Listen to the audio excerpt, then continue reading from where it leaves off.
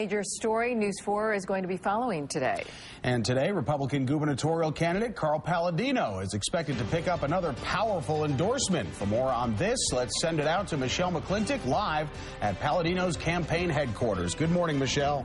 Good morning to you. It's less than five weeks until Election Day, and neither side is holding back when it comes to tough talk on the campaign trail.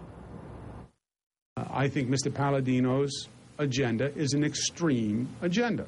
He says that uh, he believes the best form of government is a benevolent dictator. I believe in democracy. Democrat Andrew Cuomo took his shots at his opponent when he stopped in Buffalo to unveil a job creation plan. His comments came as Paladino was responding to comments made by Joy Behar of ABC's The View about Paladino's child out of wedlock. Said he could win if all his illegitimate children vote. Paladino's camp responded by saying Behar should be ashamed of herself and that, quote, the only person here who is illegitimate is Joy Behar's hairstylist, end quote. The Republican is expecting a campaign boost today, though, when the Conservative Party meets to choose their nominee, following Rick Lazio dropping out of the race. They're expected to support Paladino.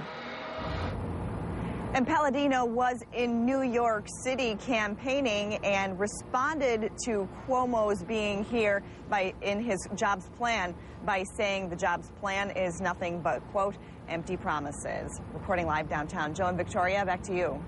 Thank you, Michelle. The latest developments in this heated election are right at your fingertips. Just visit our politics section at WIVB.com.